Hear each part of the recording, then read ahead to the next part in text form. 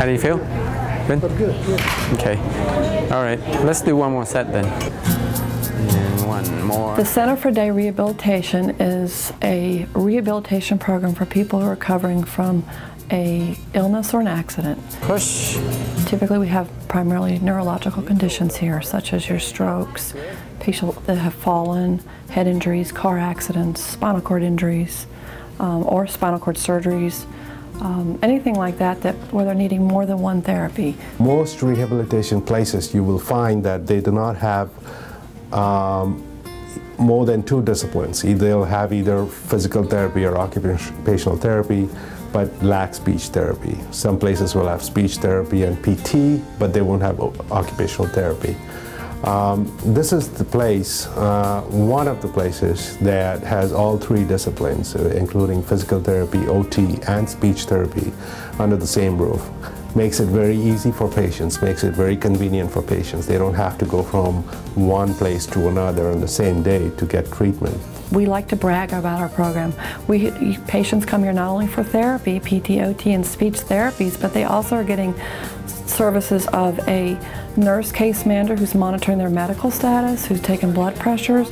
I ref refer people to doctors if we need to. That was really good though. You're getting there. There's a lot of encouragement from the different disciplines, uh, especially where rehab is concerned. We're always telling them, let's don't look back. Let's look at all the things that you've accomplished just from last month or last week. And a lot of times patients won't notice the improvement, but we point that out and we help them um, keep positive. This is great for your right arm as well. It catches you by surprise, and um, when you see it and you experience it, one thing you can do is just hope for the best. Okay, that's good there. And while hoping, RJ Tisdale is also working harder than he ever has before. RJ was at work when it happened. He lost feeling in his arm and his leg. I told some coworkers of mine that um, I think I may have had a stroke, but being a man, you know, you don't want to believe that you had a stroke. You're invincible. One, two, RJ had indeed suffered a stroke. It put him in the hospital for two weeks, followed by two weeks of inpatient therapy, and then he came here, the Center for Day Rehab at Mary Washington Hospital. This place, I have noticed a great deal of improvement in both my flexibility and usage of both my legs and arms. We're trying to train the patient um, as far as what is their limitations, uh, what um, they can do within their limitations, how much they can retrain their body to basically function um, either independently with their activities of daily living or use some kind of assistive devices to try and be as much uh, independent as possible. RJ's plan is to get there, and hard work is just part of that plan. That's exactly what I asked for. I do not want anything half-hearted. I want them to give me everything I give back to them, and that's exactly what they do. So how's RJ doing? He's doing really well. He works really hard every time he's here. RJ's progress is closely monitored here, as it is for every patient. We have a team meeting every week, uh, and then we try to make an assessment. What does a patient need more? What does a patient need less? And that way we make adjustments. I think that sets us apart from other places. We're constantly reevaluating their progress and, and, and encouraging everyone to keep working towards a final goal. Beforehand, I couldn't touch my shoulder, any of the shoulders. You're doing good.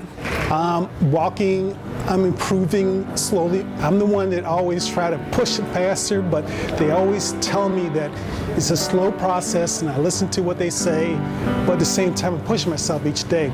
You gotta give, give it everything you got, and with this place, they will help you out meet your goals. We pride ourselves in telling everyone this is a comprehensive program. Occupational therapy, that's a very common therapy a lot of patients don't realize the benefits to. They're always thinking about PT and wanting to walk. And definitely walking is the number one thing, but there's so much that OT can work on. It's very important we all are able to care and clean for ourselves and learn how to get our clothes on again. If you're having some imbalance problem, you might need to know how to do that safely. Even things such as how safely to get things in the kitchen. Are they aware of safety awarenesses in the kitchen or fall hazards in the home they'll go over? And it's not just focusing on a patient's well being while they're here, it's what they're going to need when their work here is done. As a case manager, I help them with the community resources. It might be getting in with social services, it might be getting them back out and doing some involvement with the local gyms again, it might be community center uh, activities, and certainly being in a rehab, we refer them to Department of Rehab Services for additional rehab needs. We do something called a community outing, where we take the patients back into the community, try to reintegrate the patients back in the community, and try and see how much of carryover we have with the patients, how much of things we are teaching the patients, training here, is actually being practiced by the patients once they go back to the community.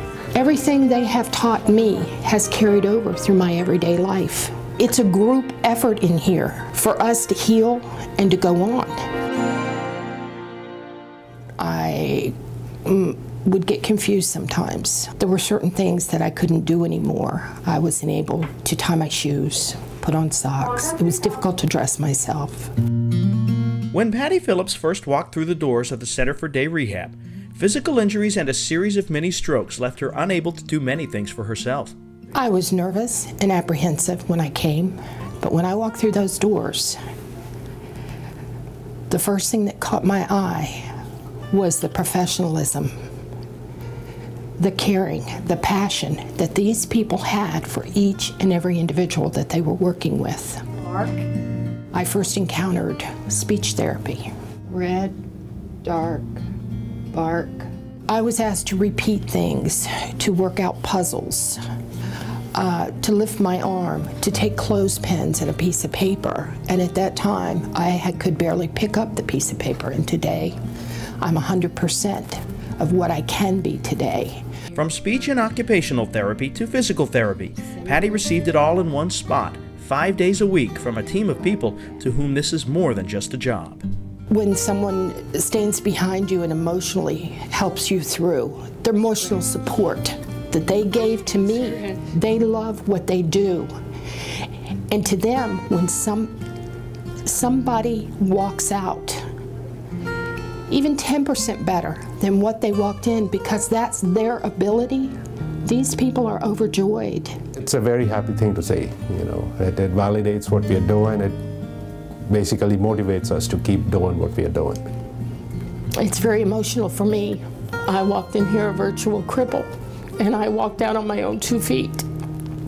And I am able to do things today that I never thought I'd be able to do again, and I can. When we see success like Patty, it's it just puts it all together. It's what we do all this every day to day, and this hard work comes to, together, and we see a patient who does well like that, and it's it's it's very rewarding. I trust them with my life. And I did trust them with my life. And today, I have a life because of that.